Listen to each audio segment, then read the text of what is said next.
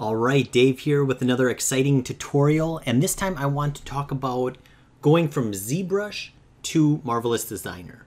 Now, I feel like a lot of times when we're sculpting in ZBrush, we might be creating a character, and um, there's, um, I feel like not really a good sense of scale in ZBrush, like how big your character is. Now, let's say you had a character, and maybe you have some some different subtools, um, some complexities here, but I feel like I just went to Lightbox and I grabbed uh, a character here um, for this example. And let's say if, well, okay, I want to export this character out. So if I go here to export, and I'm just going to save as OBJ ZBrush, and uh, you can see OBJ, so I already saved it. And then I'm going to go ahead and open that up in Maya. Okay, now I know that I said, hey, I want to bring this to Marvelous Designer, but um, one important thing, if we brought this into Marvelous Designer, uh, it may be too big or too small, so I'm going to actually use ZBrush to measure this out. So if I um, look at this in the front view, so I'm going to go here and look at it in the front view. And if I go to, um, let's say, Create, Measure Tools, Distance Tools, now I can click at the top to the bottom of the character, and the character is 13.9. Okay, well, 13.9 what? Well, I have to go to Windows Settings Preferences, Preferences, and then I have to go to Settings, and then I can see the centimeters. Now, I don't know about you, but I don't really think in centimeters. I think in feet.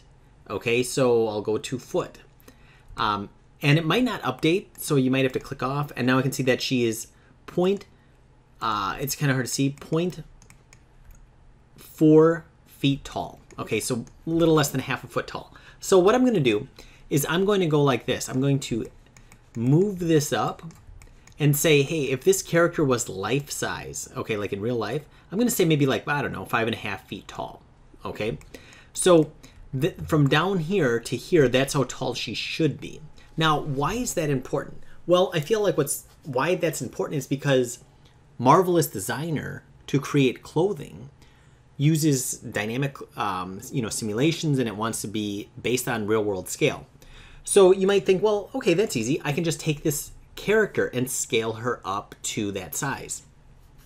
Now, in this case, it may be okay, but if we had a lot of subtools and complexities, it could get kind of messy, okay? Because now if we bring it back in, notice that, you know, this is the low res, this is level one of this character, and um, we may have like high-end detail sculpted on her character, and if we bring it in, and it's not in the exact same position that it was when it came in here, then that could be problematic in ZBrush. So in other words, I want to keep this small character, this half foot size character, in its position here. That, that way, if I need to bring it back into ZBrush, it's going to be in the exact same spot that it was in ZBrush. But I also want to bring this character into Marvelous Designer at real world scale. So I'm going to use this Maya as kind of an intermediate program to help me do the scaling. Okay, and you could do this in Blender, you could do this in 3D Studio Max, uh, it'll be similar concepts. So let's take a look at this. What I'm gonna do is I'm just gonna name this, it doesn't really matter, I'm just gonna call this uh, female character. And now, instead of scaling the character herself, I'm gonna go Control G to group it, and I'm gonna call this scale. Uh, I'm gonna call this scale node, okay? Now what I can do, if I open this up, I can actually scale this character up, and now I can see that she's going to be life size. Now, also notice that I scaled the scale node, but on the female, it's still uh, regular size, okay? Now, now you can see that on female, uh, it was, okay, full disclosure, when I brought this character in from ZBrush, she was life size, but I'm just normally when you work in ZBrush, it's wrong size. So I feel like normally what it would look like is this. Um, so let's just pretend that she did come in really small. So now I have this scale node, and what I can do here is I could do all the stuff that I want to in Marvelous Designer, okay? And uh, so I would export this body out. I would go to File, and I would say Export Selection. And now I would go to here and um, I would call this OBJ Marvelous. Okay, or whatever program you need uh, full size. And there we go. Now I would bring that into Marvelous. I would dress her up. I would do everything dynamic, whatever I want. And then I would bring that back into Maya. Okay? So just for sake of um, time, I'm going to pretend that I made a hat. Okay? I don't know. Let's say made a hat for the character. And um, well, let me see. Okay, made a hat for the character, and I'm just going to kind of go like this. Um, or if I wanted to, if I uh, instead of using Marvelous, I mean I could I could technically do it in here, um, or I could use a combination of the programs, whatever. But um, now that I have this hat in here, um, so if I imported this hat, or let's say this some clothing, back into ZBrush, it's going to be way too big because remember she should be really small. So what I can do, I'm just going to name this hat. Instead of, once again, now scaling her and the hat, I can drag the hat with middle mouse drag, put it into the scale node, and now I can scale this back to the original size. So I can put this at 1, and there she is uh, at the original size.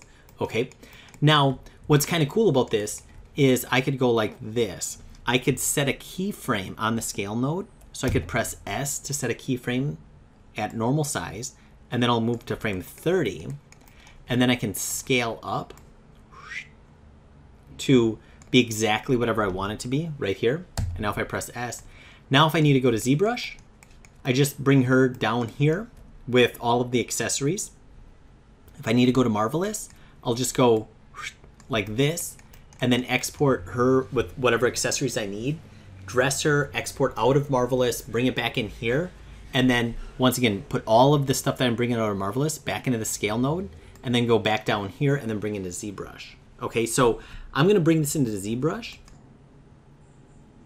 And to do that, so it's scaled down to the ZBrush size. Now what I'm gonna do is I'm gonna select this hat and I'm going to uh, just leave it here. And I'm gonna go File, Export Selection, and I'm going to put it on the desktop. I'm just going to call this OBJ hat. I'm just going to call it a 1. Okay, great. Export selection. Now if I go into ZBrush, here's my character sitting here. I'll go to Subtool, and I'll go to Append. Whoop. Append, and I'm just going to put something on there I don't care about, a sphere. Now I can select the sphere and import the hat. And now I can see that the hat goes in the right place. Okay, so once again, if I, um, and just to kind of show you, if I scale this up, okay, and if I exported this hat out now, export selection,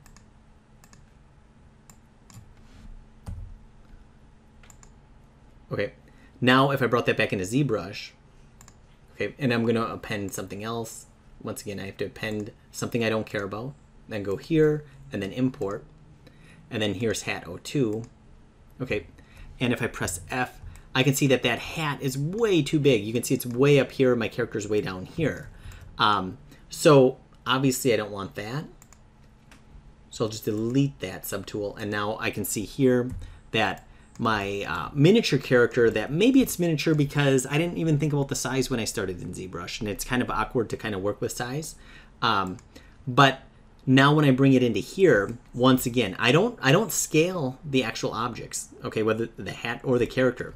I scale the scale node, and that will allow me to have it uh, life size for programs like Marvelous Designer, whatever I need it for, or ZBrush size in case I need to go back and kind of edit things in ZBrush. So hopefully that was helpful. I feel like I know that used to be a kind of a confusing topic for myself. I feel like scale in ZBrush is, is a little awkward. So you know, if you found this helpful, make sure to like and subscribe. If you've got questions, feel free to post any questions, um, and I'm happy to answer anything that you have. All right, thank you, and have a great day.